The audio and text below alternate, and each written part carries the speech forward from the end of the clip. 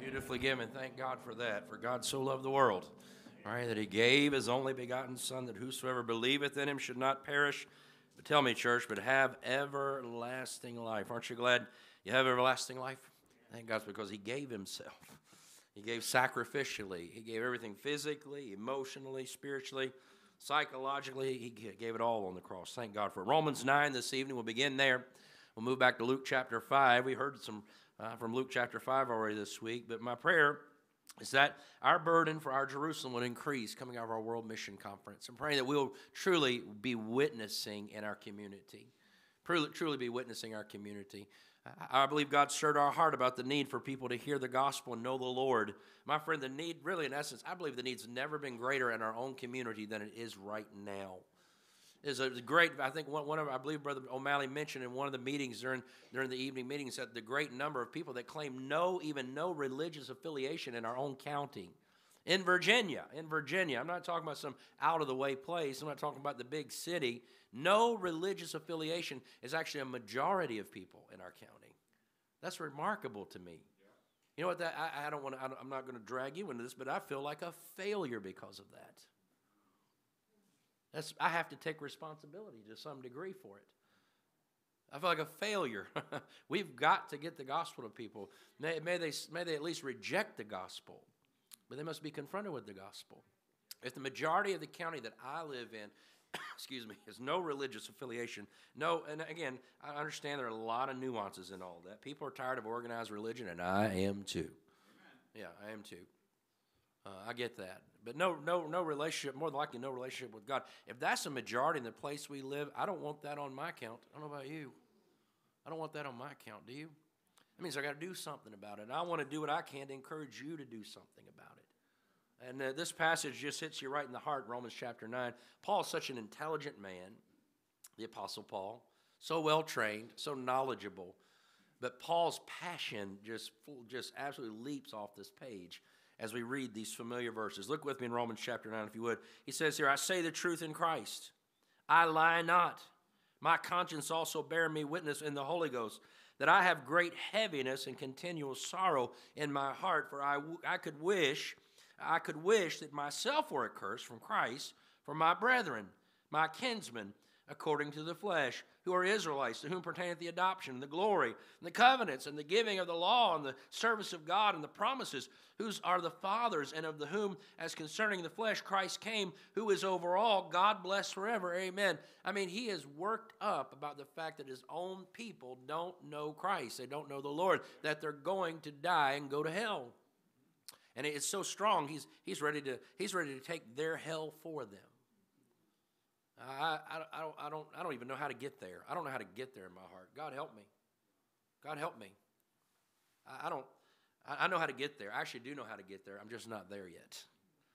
And we'll find out about that here in a moment. F.B. Meyer, a great Bible teacher, he said the apostle had got so near the very heart of the Lord that he could hear its throb, detect its heat. Nay, it seemed as though the tender mercies of Jesus uh, to, to these these Philippians here were throbbing in his own heart. What, what happened? He's getting so close to the Lord that he, the Savior's passion for the lost, rubbed off on Paul. And again, I want to remind you, he was not with Jesus physically. He's in the same, excuse me, in the same boat that you and I are, not seeing Christ, but following Christ. But he got close enough to the Lord. I agree with F.B. Meyer that, that he, he, got a, he got God's heart. You absolutely got God's heart. And I believe it. The secret to evangelism is not necessarily just running ragged all over the place. It's not, as someone said, running around with, like a chicken with your head cut off and doing everything you can. I, I'm not saying that can't be part of it. But what we need, and there's no doubt, we need to do a better job wearing ourselves out for the sake of the gospel. I don't think we've gotten close to that yet. At least I haven't. You know, we're not close to that. We're, we're not spent ourselves for the gospel. We've not spent ourselves for the lost. We're not wore out when it comes to giving the gospel. I don't think any of us are guilty of that. I know I'm not. But what we need is not necessarily figuring out a plan to run around. We need to get close to the Lord. I need to get closer to Jesus. I've got to start in the right place. If, if, if people passing from death unto life is the heart of Jesus, and I love Jesus because he loves me, then I, that ought to be more of my heart ought to be more of my heart. So we yes, we need to do all that we can, but the secret of having a heart for our brothers and sisters is found in our communion with Christ. And make no mistake about it, if you and I don't have a heart for the gospel, eh, the problem is not not giving the gospel. The problem is that we're not close enough to the one who wants us to do it. That's it. it it's a sign that you and I don't have the heart of Jesus for a lost world. It's an indicator we don't care like Jesus cares. And uh, you say, Pastor, how do you know that about me? I don't know it about you, but I sure know it about me. And I'm pretty weird in some respects, but I think we have something in common here. I think we have something in common. We, we, we, we, don't, we don't care like we should. What can we do about that? Honestly, people drive me crazy sometimes. You don't have to say amen right there. You think, what's, what's he doing? He can't be the pastor of our church and talk like that. Well, I'm just telling the truth. People drive me crazy.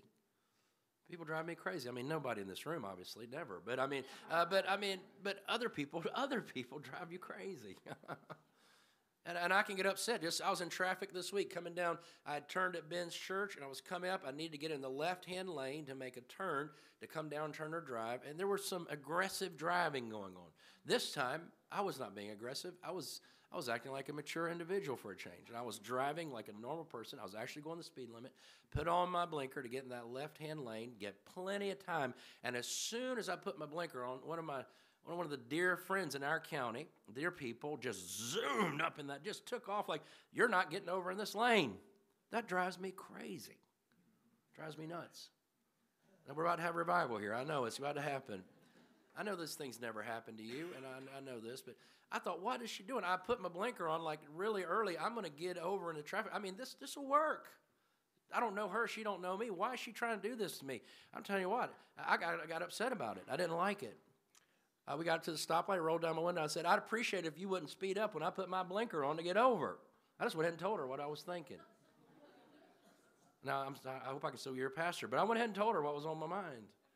And she had some things to say to me that I can't repeat to you.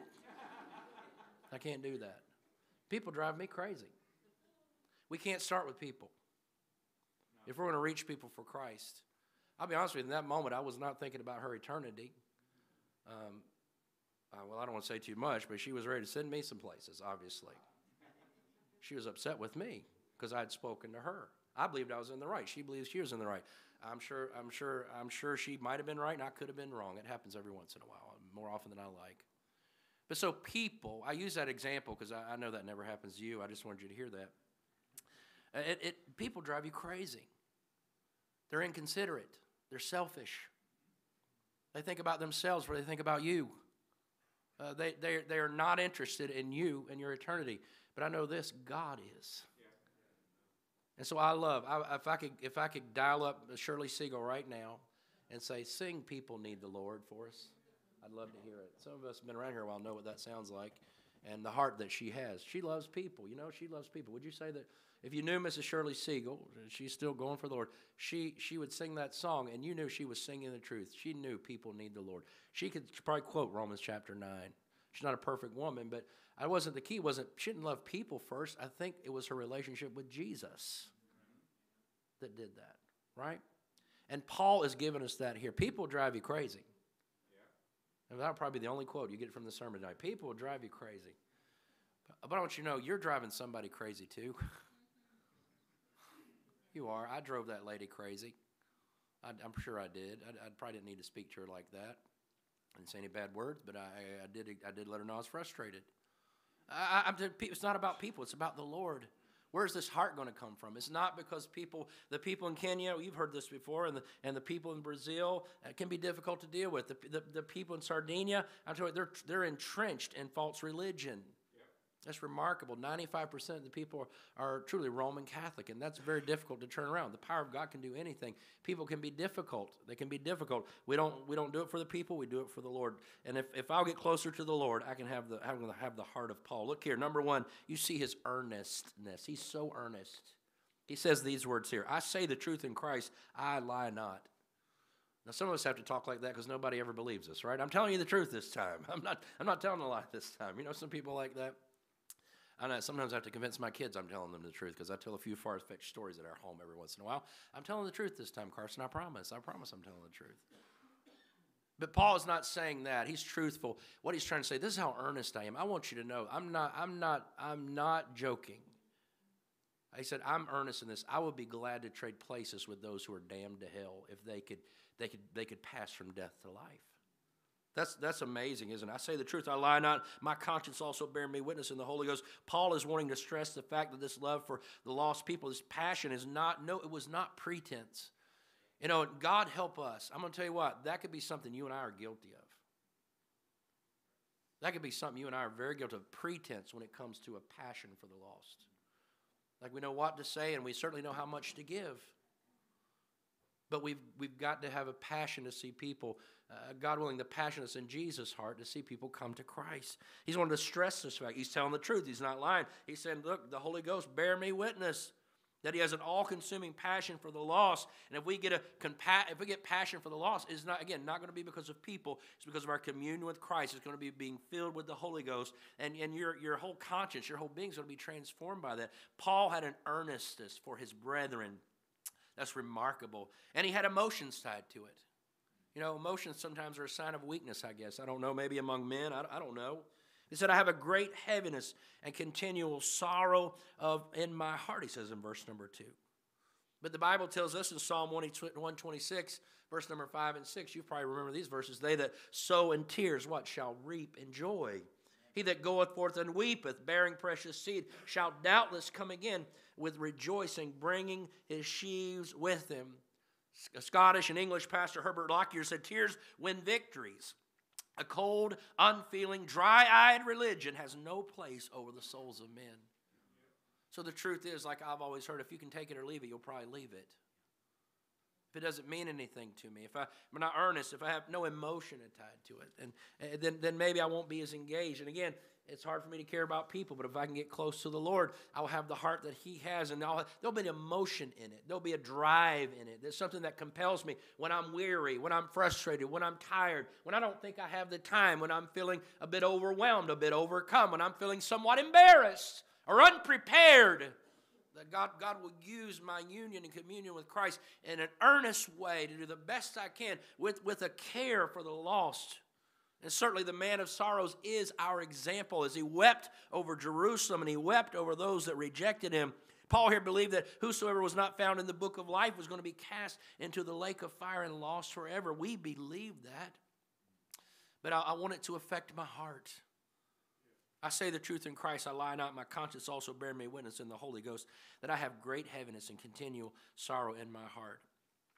You know, the lady that I got upset with in traffic this week, God helped me to get close to the Lord. So I'll care about her eternity and help me not to do foolish things that would get between her and eternity. If she knew I was the preacher, if she knew I was a Christian, if she knew I was supposed to be witness to her, I probably just built a huge brick wall for her to listen to me to say anything.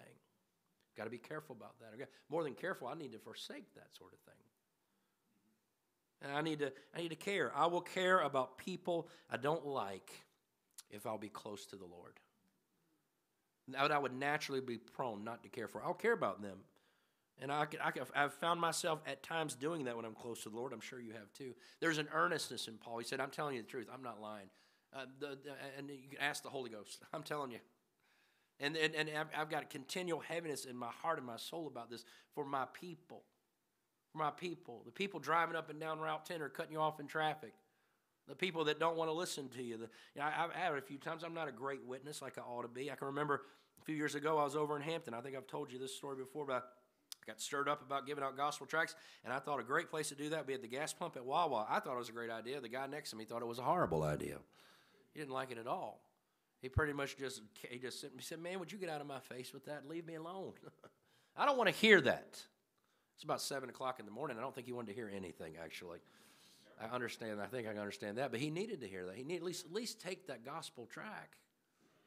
You know, and the devil's used that since then to stop me from giving tracts out sometimes.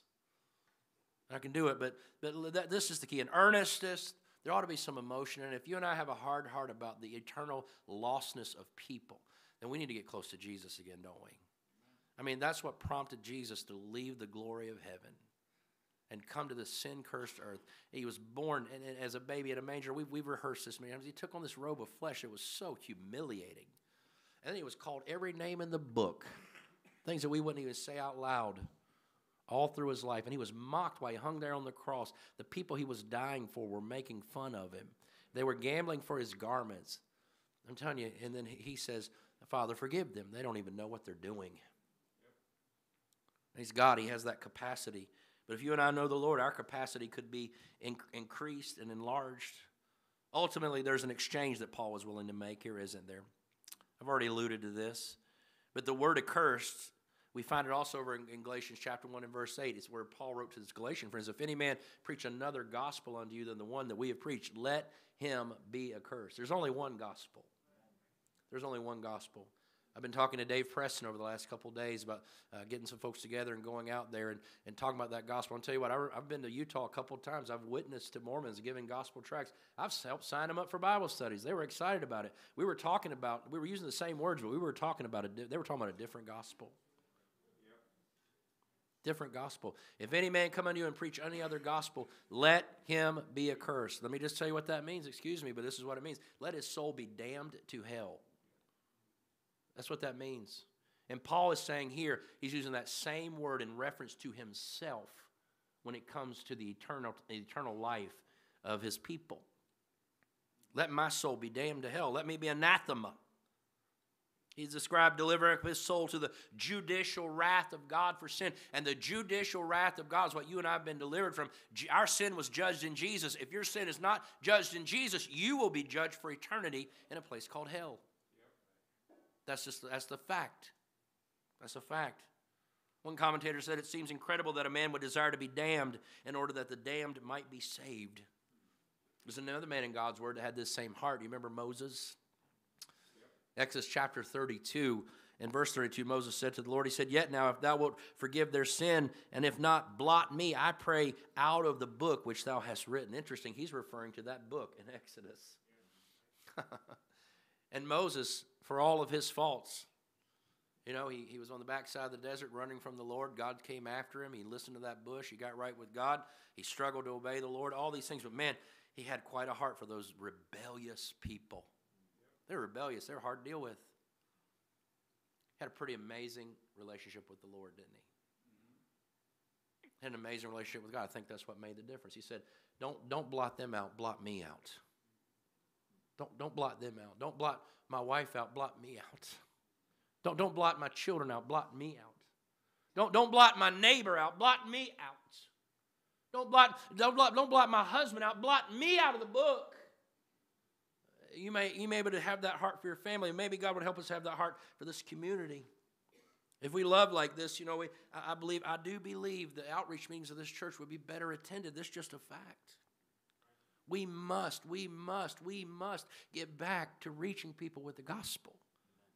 We must. We must do that. You, you're not, you don't have to reserve it for those times only for 6.30 on a Thursday or 10 a.m. for a Saturday. But I implore you, I beg you, if you believe in the gospel, you must engage yourself in giving the gospel or it's all pretense. There is no earnestness. There is no emotion. There will be no exchange if you and I don't go with it and we'll just talk about it. And we might give people money to go do it. But that's not what God had in mind when He said, Go into all the world and preach the gospel to every creature. He was talking to some people. He says, I want you to do it. And I want you to do it. And he was talking to everybody there. I want you to do it. I want you to do it. That's it, isn't it? And the good news is that it doesn't have to be some robot effort. It can be something that we enjoy, something that we care about, and we just do it and we leave the, leave the results for God. God help us. God help us. I need help in this area. I, I know our church needs help in this area. I want us to get back about God's grace. I believe the Lord wants us to get back to, to going after souls. It's not something just revert, reserved for missionaries and preachers, but I'm glad for the examples that we have in history. David Brainerd, Uh, one of the most celebrated Christian missionaries, he was laboring among poor Indians. By the way, his life was cut short. Was it 29 maybe? I think 29. He lived to be 29 years old. He said this as, as he was on the banks of the Delaware River. He said, I care not where I live, what hardships I go through, so that I can but gain souls to Christ. While I am asleep, I dream of these things. How about that? He said, As soon as I wake, the first thing on my mind is this great work. All my desire is the conversion of sinners, and all my hope is in God. Those words are admirable, but I'm almost dumbfounded by them. But I, I think that's what led him to leave the confines of the comforts of home and to go where he went to. And, and I believe it was tuberculosis or something of that nature, a respiratory illness that took his life. And you and I don't want to do that. I know you and I are not, not necessarily trying to sign up for something like that. Uh, but I, I, admire, I admire that. But we're not, we're not looking for necessarily for David Brainerd. We're looking for somebody just hand out some gospel tracts and try to witness to people. God is. That's what God's looking for. We're looking at verse chapter 10 of Romans. It says, Brethren, my heart's desire and prayer to God for Israel is that they might be saved. He's, he's clarifying all this here in the next chapter. And God help us to do that. God help us to do all of that. And we just need to get, get down to wanting to. We want to do what God wants us to do, and then we just need to do the way God wants us to do it. Luke chapter 5, and we're done. I'm going to take just a few minutes. Brother O'Malley dealt with these things, and so he left nothing on the plate for me, that's for sure. If God ever allows me to be in a meeting with Brother O'Malley, I want to make sure I'm preaching first. Amen. I just want to do that, so that'll be the way it goes. Otherwise, I cannot participate. Aren't you glad for men like that to give themselves to the Word of God?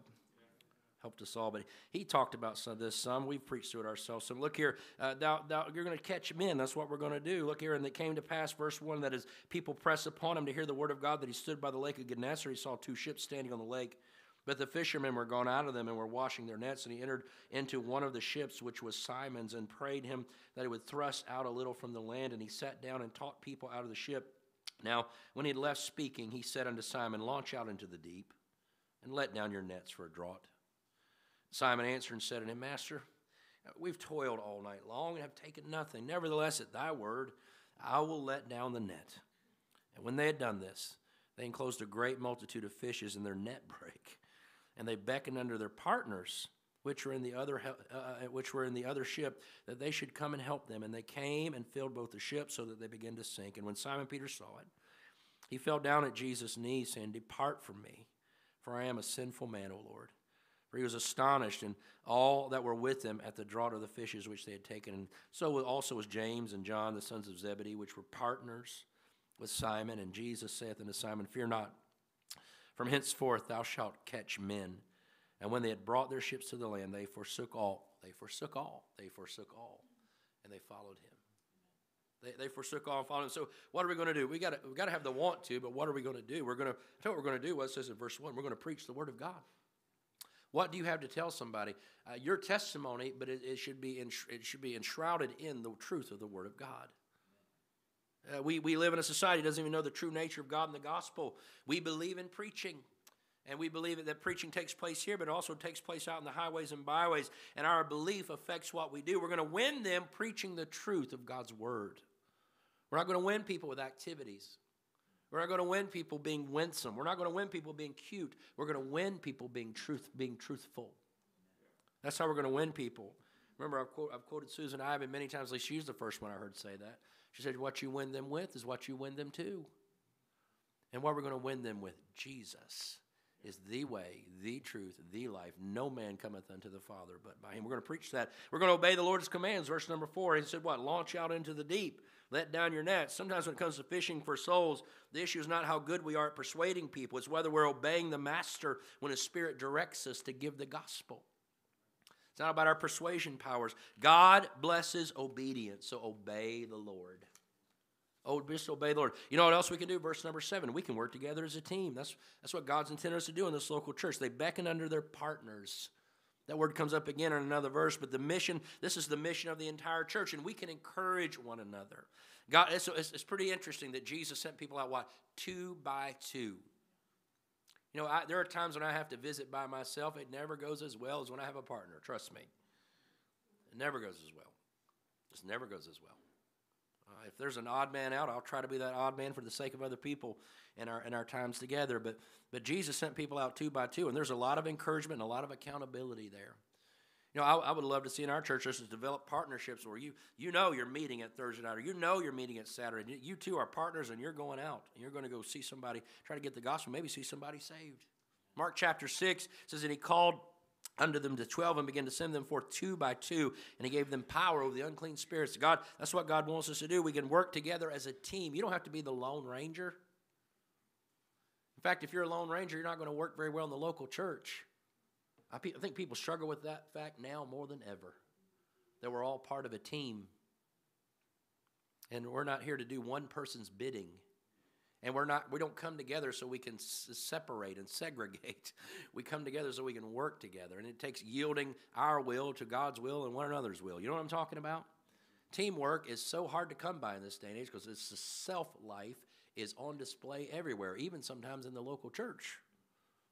I, I could be given to that. May God help us to work together as a team. You know what else we need to do? Verse number eight. And when Simon Peter saw it, he fell down at Jesus' knees, saying, Depart from me, for I'm a sinful man, Lord. I tell you what we need is a good old fashioned dose of humility. Oh, God help us. You know, if I'd had more humility, I probably would have not been so upset about that lady cutting me off in traffic or whatever. I need to be more, more humble. I don't deserve, I don't deserve, I mean, that maybe just seems like a simple thing, but who do I think I am? it's not really a big deal. I made it a big deal. You know why? Because I wasn't getting what I wanted in that moment, as insignificant as it was. We got to be humble. Peter saw the grace of God, he felt unworthy. And I'll tell you this, if we're going to if we're going to reach the lost, God help us to not do it with a cocky attitude. Now, I don't want to be demeaning, but there's some people take that approach. Uh, they've got something people need and they better listen. Well, I'll tell you what, that's not the spirit of Paul in Romans chapter 9. I think people need to listen, but my goodness, we're not here to scream at people and yell at people and put people in a headlock, so to speak. Excuse me. But the truth of God will arrest them. But, but we need to be humble. Don't we need that? That's the Lord's work. It's our privilege to represent the Lord. It's my privilege to talk to somebody about the Lord. I don't have some right to force them to listen to me. But if I have the power of God on my life and a humble spirit about what God's done in my life, I think that's going to help me to adorn the doctrine, God willing. Paul wrote there in the book of Titus. And, and God help us. Now, we can be humble, but then verse number 10, look at this. And so was also James and John, the sons of Zebedee, which were partners with Simon. And Jesus saith unto Simon, Fear not. We can be humble, but let's be fearless. Let's be fearless. Proverbs 28, verse 1 says, The wicked flee when no man pursueth, but the righteous are bold as a lion. I mean, we're on the Lord's side, friend. So if, if someone rejects us, they're rejecting the Lord, and I don't take that lightly. But but uh, listen, we're going to be fine. we're going to be fine, and, and thank God. We may face more more opposition, but right now all we have to face is a little embarrassment. We should be respectful, but not live in fear of people's opinions or their rejection, and they're actually rejecting Christ. Verse number 11, quickly. And when they had brought their ships to land, they forsook all and followed him. And we, we were following Jesus. That's what we're doing. If we're true followers of Christ, we are going to be a witness. I mean, it's kind of just the two go hand in hand, don't they? When we're close to the Lord, we're, we're thinking about people the way He does, and that we stay connected to Him. We draw strength from Him. We keep our spiritual tank full so we can minister to other people. When my tank gets empty, I've got nothing to give them. Got nothing to give them. So, you know, your tanks. If you're if, if you're expecting today to keep you full all week, I'm, I probably should have studied more. I should have worked harder. Truth is, it doesn't matter how well I may so-called preach on a Sunday or one of our other men preach on a Sunday. You're you're responsible to feed yourself and to keep your tank full. Now, I believe God's organized and ordained what we're doing the right way to help you. But don't think you can you can't eat two or three meals a week and survive well. Probably a lot thinner, maybe, but I don't think you'd be very strong. Right. So follow him, stay connected, all those sorts of things. And one last verse here, Mark in the book of Mark, chapter one, and we're we are actually done this time. I've had th- uh, two different endings now. God, please forgive me. Jesus is is uh, ex- expanding on all this.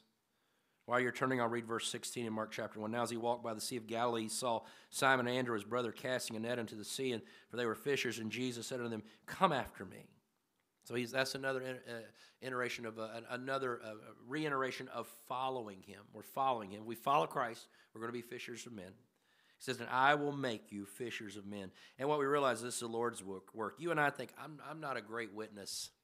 I'm not a great I'm great winning people to the Lord. It's kind of embarrassing. People wonder what I'm talking about. They think I'm crazy.